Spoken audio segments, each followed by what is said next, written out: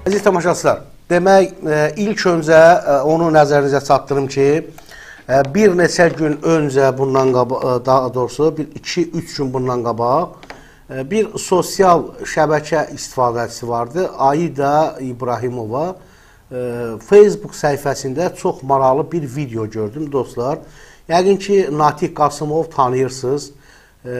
Qalıbsa Allah can sağlıq versin şəhid olubsa Allah rəhmət eləsin. İndi nə şəhid olduğu bilinir, nə e, qaldığı bilinir. Müəmmalı çox qəhrəman e, bir əskərimiz olub. Həmişə dostlar, hər e, demək bayraq günü şəxsən mən onunla bağlı silsilə yazılar və verilişlər verirəm.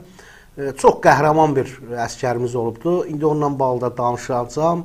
E, bu yaxınlarda demək 3-4 gün bundan qabaq e, Ayda xanım İbrahimova adlı bir sosial şəbəkə istifadəçisini bilmirəm, özü harda işləyir, ixtisasını bilmirəm. E, çox maraqlı bir video gördüm. Demək, e, İtaliyalı jurnalistin e, hazırladığı bir mövzu vardı. Ondan bağlı və xahiş elədim, videonu göndərdi. Onu sosial şəbəkələrdə paylaşdım. Demək olar ki, dostlar, 6-cı gün gündəm dəyişdi. Çox sağ olsun tamaşaçılar. Mən xahiş elədim sosial şəbəkə istifadəçilərdən, tamaşaçılardan ki, bu mövzunu çox xahiş edirəm, paylaşın, ictimailəşdirəyin ki, e, Vitali Balasanyanın e, sorğuladığı, dindirdiyi əskərimizin həyatı ilə bağlı. Və sağ olsun Ayda xanım göndərdi o videonu səhifəsindən paylaşdım. Amma bilmirəm e, har, ha, hansı kanalda getməyin dəqiq bilmirəm. Əsas oldu ki, dostlar e, demək e, çox tərbiyəvi əhəmiyyətli bir mövzu idi. İndi bu mövzunu sizə birazdan rejissorumuz videonu təqdim edəcək. Dostlar, çox xahiş edirəm, diqqətlə qulaq asasınız. Müəmmalı bir həyat hekayəsidir. E, kövrək, yanğılı bir həyat hekayəsidir. Bayrağı bizə sevdirən oğullardan biri də Natiq Qasımovdur. Yenə deyirəm, nə ölçüsündən xəbər var, nə qalçısından xəbər var. E, təsəvvür edin ki, 3 gün bu adam 5 gün döyüşüb, ermənilər elə bilib ki, bir bölük döyüşür, sən demə tək döyüşürmüş, bir müəllim göndəriblər yanına təslim olmaqla bağlı. Bu barada yazılar var, diqqət sizə çatdıracağam. Və əziz dostlar, dəyərli tamaşaçılar, çox xahiş edirəm, kanalda olanlar verilişi bəyənin, paylaşın, fikirlərinizi səsləndirin və həmin videonu rejissorumuz təqdim edir, dostlar. Və bu verilişlə də bağlı döyüşçümüz var, Xocalı döyüşçümüz, Nazim adlı bir qardaşımız var. O yəqin ki, bugün ə, saat 7-də efirimizdə olacaq.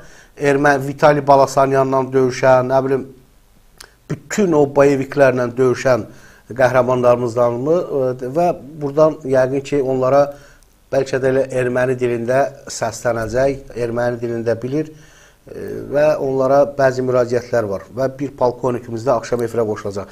İndi dostlar, videonu təqdim, edirə, təqdim edirik.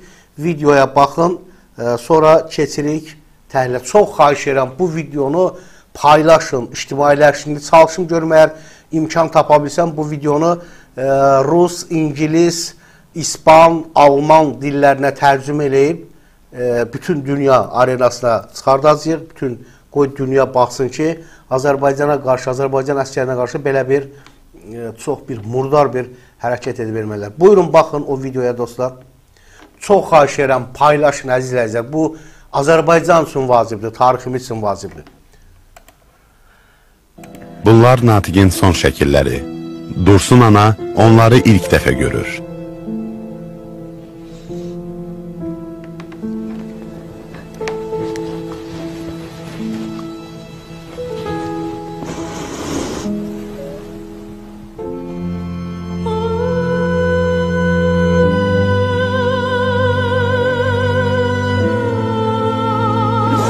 Ne zulümdü çekirse galiba.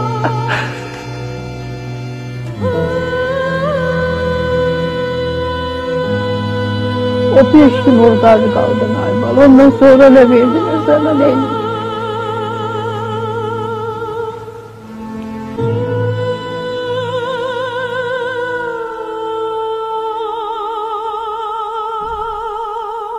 Dağlıq Qarabağda general Balasanyan ilə müsahibəmiz zamanı ondan münaqişə dövründə əsirlərlə necə davranılmasından danışmasını təkidlə xahiş etdik. Biz Sarsininin Natiqin əsir götürülməsi və erməni hərbiçiləri tərəfindən dindirilməsi zamanı çəkdiyi şəkilləri generala göstərdik. O əsrin tanış gəldiyini, lakin Natiq Qasımov adını xatırlaya bilmədiyini söylədi. Bu ad doğrudan da yadımda deyil. Ancaq bizim əsrimiz kimi qeydiyyata alınmış kiminsə sonradan yoxa çıxması qeyri-mümkündür. Məndə belə bir məlumat yoxdur. Bununla belə general Sarsininin çəkdiyi fotoşəkillərdəki erməni əskərlərindən bir neçəsini tanıdı. Bu ikisi mənim əskərlərimdir. Bu, bir də bu. Amma bu şəkil yadıma gəlmir. O tərəfdəkilər də mənim əskərlərimdir. Ancaq biz Natiqi yəqin ki təhvil vermişik. Özü də təkcə Natiqi yox, elə hamısını. Mən sonraki vəziyyətə görə cavabdey deyiləm. Əgər öldürdüklərimiz olubsa da, onların nəşini təhvil vermişik. Mən əgər sözünü vurğulamaq istəyirəm. Çünki biz öldürməmişik. Maraqlıdır ki, general sorğu zamanı düz natiqlə üzbəüz əyləşən və xüsusi nəzərə çarpan gənc zabiti deyəsən tanımadı. Bu haqda heç bir məlumatım yoxdur.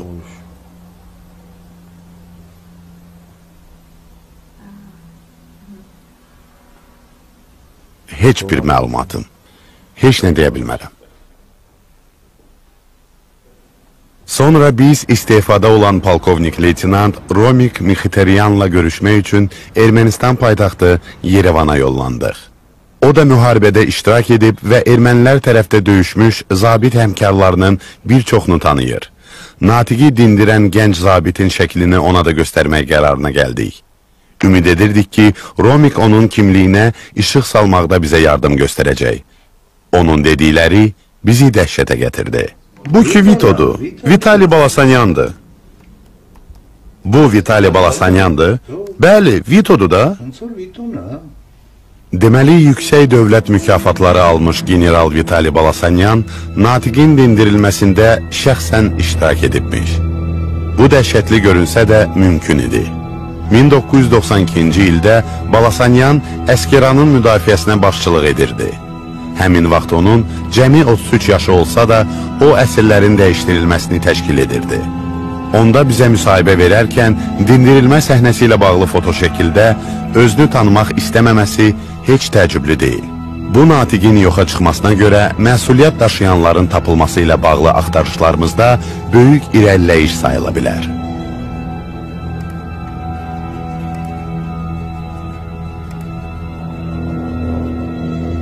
Lakin biz Romikin sözlərini təsdiqləyəcək azı daha bir erməni şahidin ifadəsini almalıydıq.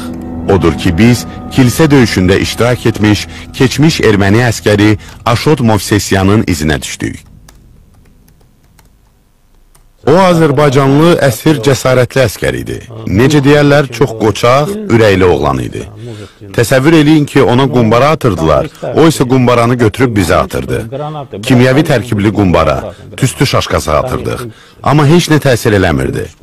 Orada təmiz hava ala bildiyi bir yer tapmışdı. Kilsədə özünü qoruya biləcəyi səngər, sığınacaq qazmışdı. Beləcə də sağ qalmışdı.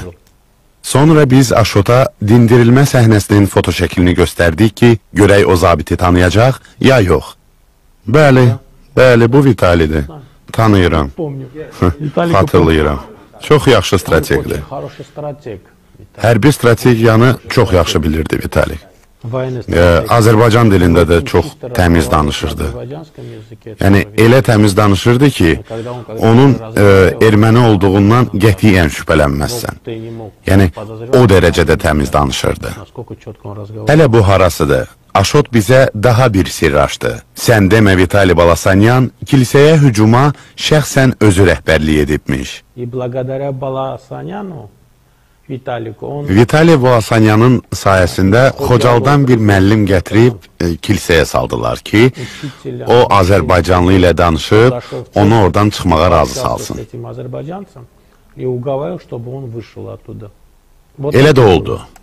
Bəli, belə də oldu. Balasanyan o vaxt oradaydı. Mən də həmin vaxt oradaydım. Üçüncü Stepanakert bölüyünün tərkibində ora getmişdim.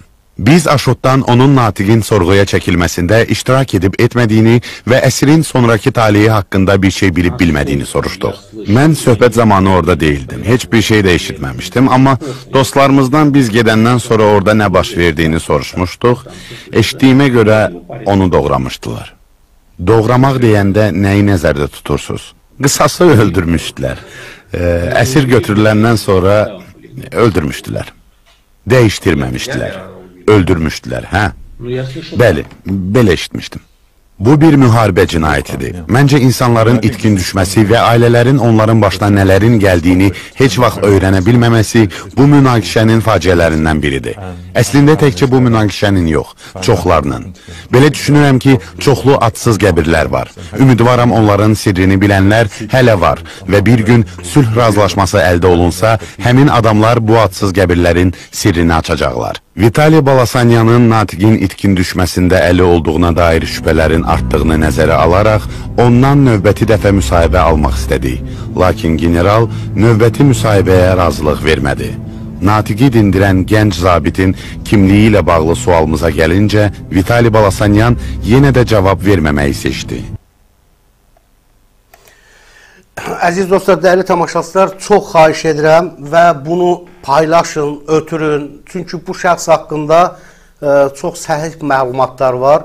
Bu şəxs bayrağı əlindən yerə qoymayıb o boyeviklərin qarşısında necə məğrur gedir, bunu İtaliyalı fotoqraf çəkibdi, Rusiyalı jurnalist çəkibdi. Araşdırmalar aparırıq və kimin də məlumatı varsa çox xahiş edirəm yazsın. Bizə bayrağı sevdirən oğullardır. O məğrur mərd oğlu olubdu. Yəni ə, təsəvvür edin ki, bununla bağlı, yəni 6-cı gün mən belə bir video paylaşmışdım, əziz dostlar. Çox ə, deyim sizə ə, böyük bir rezonans oldu. Mən təşəkkür edirəm ə, izləyicilərə, Səngər TV-nin tamaşaçılarına ki, böyük coşqu ilə, böyük e, belə deyək də vətənpərvərlik hissi ilə bu videoları paylaşdılar, rəy yazdılar və bir nəfər rəy yazıb ki, e, Natiqlə bərabər Qriqoryan kilsəsində Vilayət Rəşidoğlu Cəfərov və Əli Zülfəlioğlu Məmmədov olub. Onlar şəhid olmuşdular. Martın 15-də onları Allah verdi Bağırov rəhmətlik almışdı. Daha dəqiq ermənilərin rabitə maşınını verib almışdı e, demək, martın 16-sı şəhidlərimiz dəfn olunub. Natiqin sağ qalmasını həmişə arzulamışıq. O şəhidimizin demək, tək şahididir. Allah bütün şəhidlərimizə rəhmət eləsin. Və əziz, bunu kim yazıb? Sədaqət Cəfərova. Hörmətli izləyicilər, biz e, izləyici e, Sədaqət Cəfərova, əgər baxırsınızsa, əlavə məlumatınız varsa yazın və bu mövzu ilə bağlı e, demək, mən e, böyük bir e, belə deyək də e, veriliş hazırlamaq istəyirəm, amma çox xahiş edirəm, e, böyük əksər kanallardan ermənilər şikayətlə bunu siliblər e, və siz ona görə deyim ki, bəyənin, paylaşın, e, rəylər yazın, çoxlu rəylər yazın ki, e, demək, qoy ermənilər bunu silməsinlər. O aqressiya işarəsi qoymayın, əziz tamaşaçılar. Bəzən sosial şəbəkələrdə, Facebookda aqressiya işarəsi qoyulur. O aqressiya işarəsi qoymayın. Amma fikirlərinizi bildirin, rəylərinizi yazın ki, qoyun düşmən bu videoları bizdən silə bilməsinlər. Və indi rejissor sizə, əziz dostlar, digər bir e, video var. O videonu da təqdim edirəm. E, o videonu da yəqin ki, rejissorumuz təqdim edəcək. Oğlunu ermənilərdən e, demək, e, almaqdan ötürü, yenə deyirəm, bunu da bilmirəm, mənbə hansı kanaldır, istinad edə bilmirəm. Bu bir istinad mədəniyyətidir dostlar, amma hansı kanalda olubsa sağ olsun, yenə deyirəm, mən onu e, Aida İbrahimova adlı bir xanımın səhifəsindən götürdüm, daha doğrusu xahiş elədim, o ə, göndərdi. E, vətənpərvər bir xanımdır. Bütün vətənpərvər insanlara da səslənirəm. Kimdə belə bir videolar varsa yazsın, göndərsin bizə. 070 Bunlar Natiqin son şəkilləri. 48 Dursun ana 48, onları ilk WhatsApp dəfə nömrəmizə görür. yazın. Mən təşəkkür edirəm. Dünən Leningraddan zəy vurublar bir ə, əziz tamaşaçılar, ə, indi adını deyərəm. Tarif adlı bir ə, daimi izləyicimiz zəy vurmuşdu. e, qardaşı 92-93-cü illərdə rəhmətə gedib müəmmalı e, onun e, ölümü ilə bağlı bir maraqlanmaq istəməyimizi xahiş etdik. Yəqin ki, o barədə bir veriliş hazırlayırıq. Amma dostlar, sırf bu mövzular tarix üçün deyilən mövzulardır. Başa düşürəm ki, xəbərlərlə bağlı çox xəbər kanalları var. Xəbər kanallarına baxmaq istəyənlər baxsınlar. Yəni Səngər TV kanalı səngərimizin təhlili, müdafiəmizin təhlili, ideologiyamızın təhlili, ədəbiyyatımızın səngəri, dinimizin səngəri, siyasətimizin səngəri. Bu yaxınlarda bir şəxs deyir ki, e, rəsmilərdən ki, artıq səngərlər bitdi, amma mən buradan elan edirəm ki, Azərbaycan dövləti var olunca səngərlərimiz olacaq. Nə mənada səngərimiz olacaq? İdeoloji səngər, səngər hökmən deyil ki, bir döyüşdə e, bir səngər qazasan, əlində silah tutasan. İdeologiyamızın səngəri var. E, nə bilim, ədəbiyyatımızın, siyasətimizin, şeiriyyatımızın, sözümüzün, musiqimizin bir səngəri var. O səngərdə dayanıb e, qorumalıyıq. Həm düşməndən, həm də öz milli vardanyanlardan qorumalıyıq.